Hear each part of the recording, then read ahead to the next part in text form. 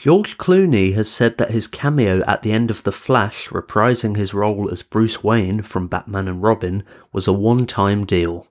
He also stated that there is not enough drugs in the world for him to return to the role.